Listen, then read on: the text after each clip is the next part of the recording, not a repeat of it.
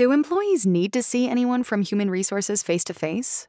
After all, automated processes make everything more efficient, right? Well, tech might make the HR process efficient, but not necessarily effective. That is, if you want employees to have a great workplace experience and stick with the company. Employees like to see a friendly face and feel a sense of human connection, especially if it's their first day on the job. A little empathy can go a long way to helping them feel welcome. No matter how advanced the tech, the human part of human resources will always play a crucial role in the employee experience. This course will show you why balancing technology with the human touch is so important in HR and how to achieve that balance.